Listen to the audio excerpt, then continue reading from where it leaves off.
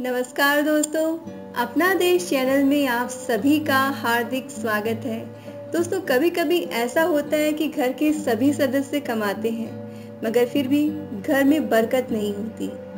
घर में पैसा आता तो बहुत है, मगर टिकता नहीं है। घर में बरकत बनी रहे और सदा घर धन और धान्य से भरा रहे तो इसके लिए बहुत ही आसान सा उपाय है। ये उपाय आपको शनिवार के दिन करना है।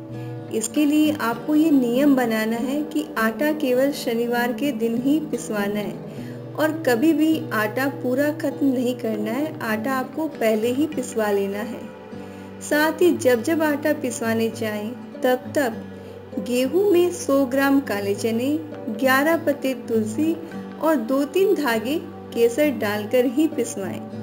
ध्यान रहे दोस्तों, यह काम आपको शनिवार को ही करना है इसके अतिरिक्त यदि आप पर शनि दोष होने के कारण घर में बरकत नहीं हो रही है तो शनिवार के दिन काले कुत्ते को सरसों के तेल से चुपड़ी रोटी खिलाएँ और शनिवार के दिन पीपल के पेड़ की पूजा करें। उम्मीद है दोस्तों, इस जानकारी से आपकी समस्या ज़रूर हल हो जाएगी। इसी शुभेच्छा के साथ हम आपसे विदा लेते हैं। हम फिर हाजिर होंगे एक नए इन्फॉर्मेटिव वीडियो के साथ। तब तक आप हमारे वीडियोस को देखते रहें, उन्हें लाइक करते रहें, उन्हें शेयर करते रहें। और इस तरह की अन्य जानकारियों के लिए आप हमारे चैनल को सब्सक्राइब कीजिए और साथ ही सब्सक्राइब बटन के पास बने बेल आइकन को क्लिक कीजिए। धन्यवाद।